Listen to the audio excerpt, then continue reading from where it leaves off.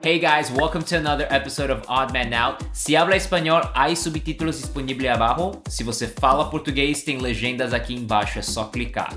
And thank you so much to Skillshare for sponsoring this episode. Stick around to the end to learn how to get a free trial of premium membership and check out one of our favorite classes. Now, let's get to the episode. How can you tell if someone is a Latino? Is it by the way they dance and the music they listen to?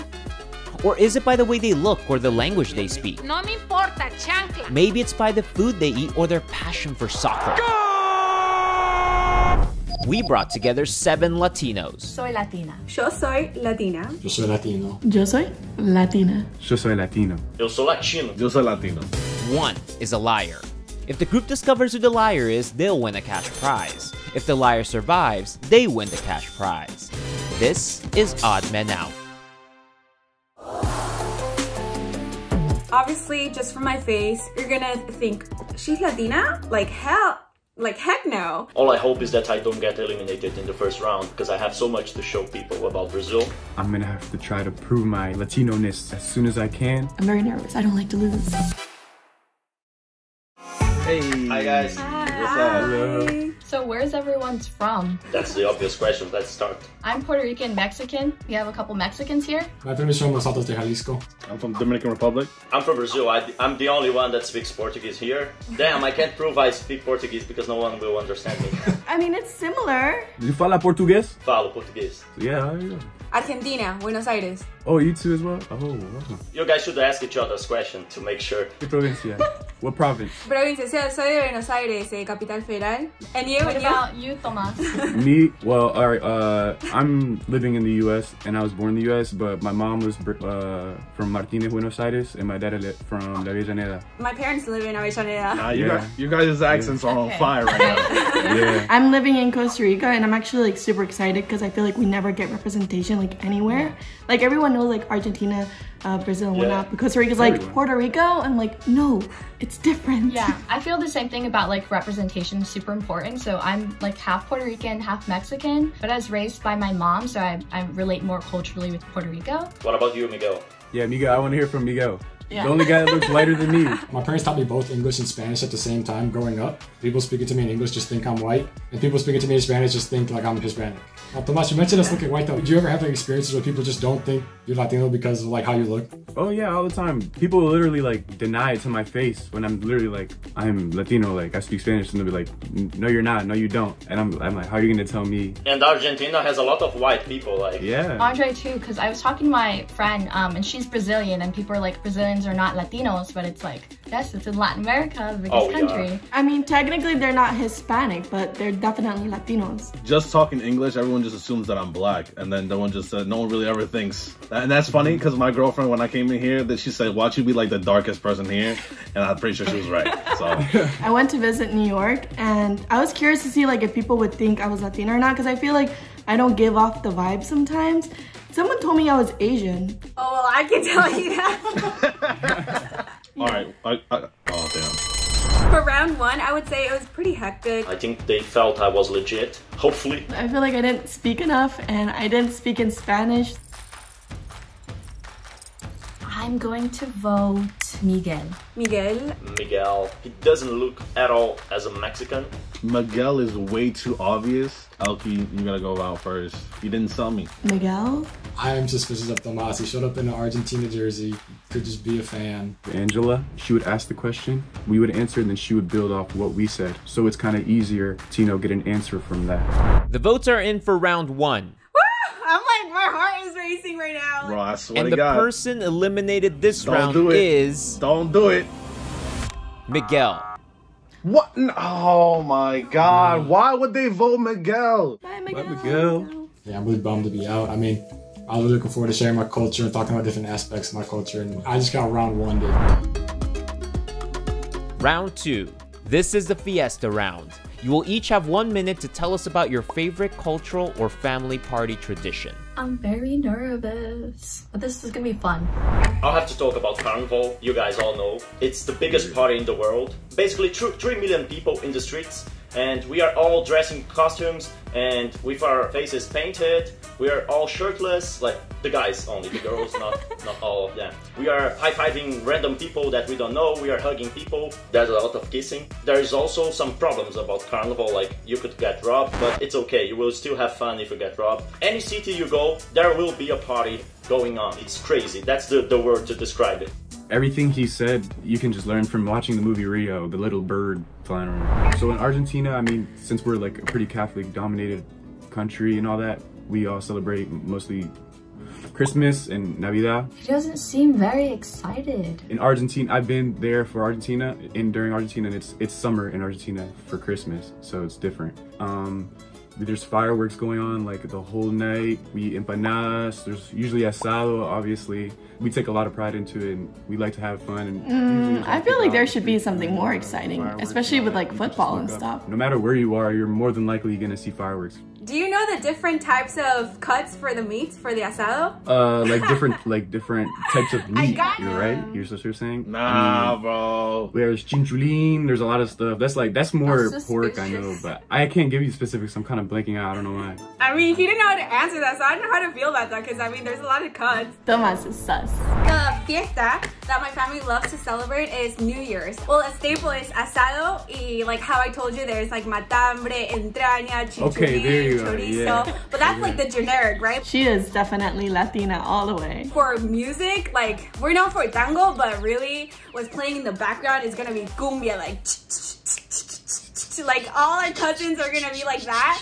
And everybody is gonna have like the Messi jersey and it's gonna always be playing soccer or football in their background. Latinos Everybody's gonna love be like soccer. "Ole, It's crazy." ole, ole, ole." Like that's like the whole house. Or Yeah, Dale you're crazy, campeón, Dale Dale campeón, campeón. Messi. We're gonna be making chocotorta, flan, gelatina, Oh, she knows what brownie she's con talking about. She's way more well spoken than I am. She was way more prepared than me, of course. Yo, if she's the impossible, I quit. So the thing about Dominicans is like they will find an excuse to party anytime, any day. It doesn't even matter. So it's funny because like in DR, even though July 4th and Thanksgiving is a holiday only in America, if they hear about it, they're like, all right, that's a good day to party. So Okay, we're gonna party that that's day too. We celebrate Christmas uh, December 24th, and then we party all night long. Latinos never celebrate on the 25th. That's facts. We would spend the whole night. I'm talking about like till four in the morning, listening to music, dancing, bachata, merengue, salsa, típico, so all that stuff, and then we all wake up until like 1 p.m. the next day.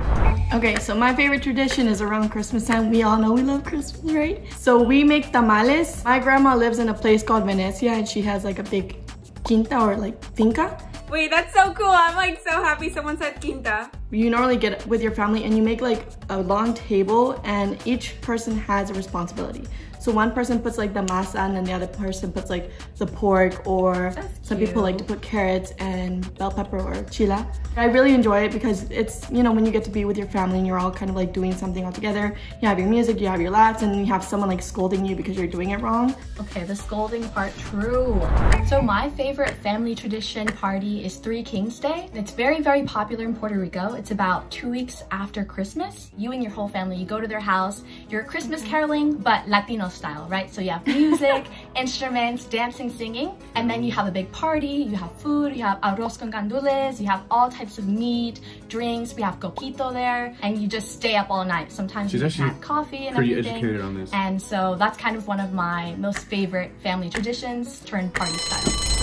I hope I did a good job representing my country. Aylen asked a really good question, which any Argentino would know, and I'm stupid for messing up because I don't know. I just drew a blank. I couldn't think of it. Angela talked less and shared less details about her story. I'm gonna vote Tomas because I think other people might vote him. Andre, I would have liked to see more about his family traditions. Tomas, I'm gonna just say Andre. Where's the passion, bro? No, I don't know, man. I'm gonna say Elky. We counted all the votes for round two, and we have a tie between Oh, no. Andre and Tomas. I knew I would be chosen. These people are crazy.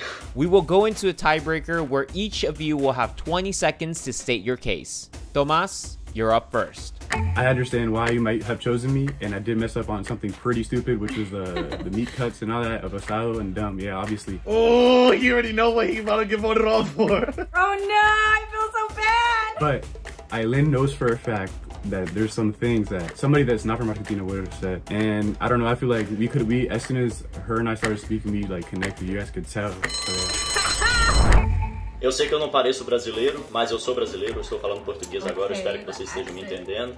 E eu não sei por que vocês não acham que eu sou brasileiro.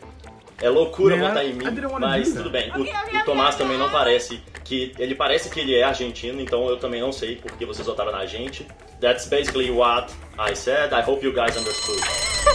Just because you speak Portuguese doesn't make you Brazilian. I'm gonna still vote Tomas. Andre. I'm voting Andre. Tomas, don't let me down, man. I'm quite upset that I'm in this predicament because they already know that they're gonna choose me.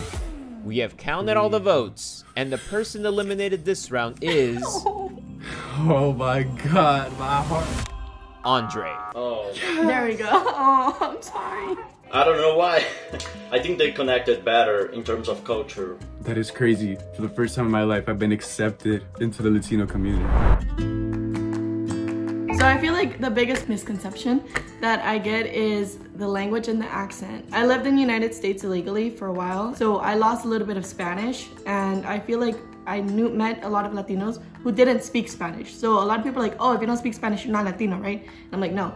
And then since I do speak fluent English, guys like expect me to have a sexy Latina accent, and I'm like, no, I speak fluent English. That doesn't make me less of a Latina. Just from looking at my face, yeah, uh, I am Korean, I'm Asian. Um, my grandparents, my parents, all from Korea, but they all lived in Argentina for 30 years, and I was born there. I lived there for 15 years. Even there, people used to always call me like, I sos una chinita," which means like, oh, like you're an Asian chick, like you don't belong here. And even here in the U.S., when I do speak Spanish, they're like, "Why are you speaking Spanish? Like, who let you speak Spanish?" And I'm like, "Excuse me," like, and so I think that's a really big misconception that just because you look Asian, because you might not look like a standard person who comes from Latin America, that you can be Latina, Latino, Latinx, and that you always have to speak Spanish. But you really don't. I think it's the culture that matters, um, the music, what you share with others. So yeah.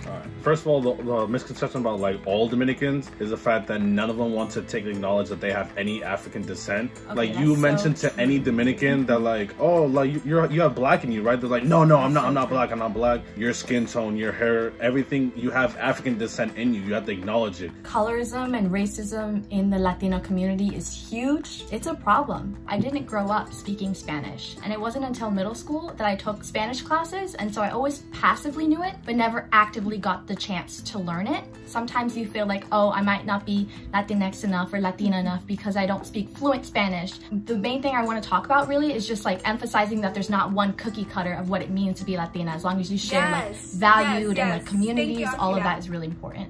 Okay, I have something super funny to ask. Vacunas. Do you guys Ah, have? that's another thing. Oh my Yes, god. birthmark. Damn. I am so jealous. I tell my mom that. That's so crazy you said that. I tell every Dominican this. I am so jealous of every Dominican that has that little mark there because I'm like, bro, like I can't even be like, look, look, I have it. I'm like, I mean, I don't have it. I was born in the U.S. and I like I didn't get that. The thing is, as long as you know what I'm talking about, I know. Yeah, I know what you're talking about. Oh my goodness! I was like, if we don't have the vacunas, you're not Latino. But obviously, I understand like in certain me, man. You situations. just, you just no, made me that work. means you're Latino. It's okay. It's like the small little things that make a big impact. Exactly. Elky, I feel so bad because I voted for Elky the whole time, but like El- Elky brought up the la vacuna and she knew it and she has it. I'm probably gonna vote for Angela just because she says the most generic things. I think I'm gonna vote Tomas just because I think everyone else is going to, and it's better to be safe than sorry. Again, Tomas. Tomas, and I'm so sorry. I- I'm sorry, Tomas. I saved you last round. I can't save you again. The person eliminated this round Bro, they is better not do me. Tomas. I'm I did so it to him. He's out. I feel betrayed, stabbed in the back. This is basically my family right now. I'm, I'm getting rid of them. I'm sorry. Do you want to continue the game? Give me a thumbs up if you want to go to round four. Give me a thumbs down if you think you caught them all and want to end the game now. I don't know what to do. Majority has voted, and we will end the game now. Can I say something real quick? Listen, if any of you guys are still the moles, we're gonna have some problems. I swear on everything. If the color turns green, you all win. If it's red, the mole is still in the game and you lost. In three, two, one. Not my wife! We're gonna apologize to Tomas. I'm sorry, I'm Tomas. so happy. Oh, wait, oh my god. The game is over and the Latinos have won. That means that the winners will be receiving a cash prize, and we're also going to be gifting them the Akinto experience, where you'll get to pick your favorite basics from our new interactive apparel brand. Will the mole please raise your hand in three, two, one? Ah! Come on now. We got him in the first. It was Literally the so first painful to keep on Yeah. voting. My name in the game is Miguel Rosa. My actual name is Michael Rose. I ah. am not a Latino, as you guys guessed. I studied abroad for a semester, and I lived with a bunch of guys that are all Mexican. Andre, I'm so sorry, bro. Oh, don't worry. Me too. I'm sorry. No one can speak that perfect. And that's why I thought I messed up because I had to prove myself, and I didn't even speak Spanish. And I was like, and this guy just starts spitting the most Portuguese ever. I'm happy for them. I hope there wasn't too much turmoil and like after that when they were like picking apart other Latinos. Even though Miguel is not a Latin, he has a Latin spirit. Latin is here, like in our minds and in your heart. It's about family, friends, fun, food. Latinos are everywhere, and they can look like anything. If you don't speak Spanish, it doesn't matter. If you haven't tried this traditional food, it doesn't matter. That doesn't make you any less of a Latino. That just means we're gonna have to show you new things. That's all. As long as you know that you're Latino, that's all that matters. But yeah, see you guys. I hope you enjoyed that episode of Odd Man Out and thanks so much to Skillshare for sponsoring this video. As someone who was born and raised in Brazil, I could really relate to a lot of things that the cast member said. And I just really love the part when Andre just started speaking Portuguese because I could actually understand everything he said. It just made me miss my home country so much and want to visit again soon. And on Skillshare, there's actually a photography class that I've been taking from a Brazilian photographer who lives in Rio de Janeiro. The class is called Photography Basics Becoming a Professional Instagrammer by Paolo Del Valle. And in this class, he covers a lot of things like camera selection, how to take engaging Instagram photos, how to edit your photos, and my favorite part, building a strategy to get you noticed on Instagram, especially by brands. I highly recommend taking that class or one of the thousands other classes that Skillshare has to offer on topics like animation, writing, film, and other creative things. There's no ads on Skillshare, so there's no interruption while you're learning, and they're always coming out with premium classes that you can get for less than $10 a month with an annual subscription. And for the first 1,000 subscribers to click on the link in the description, you'll get a free trial of Skillshare Premium membership. So yeah, go to Skillshare, learn new things, have fun, and don't forget to like this video and share it with your friends. É isso aí, galera. Até a próxima. Tchau.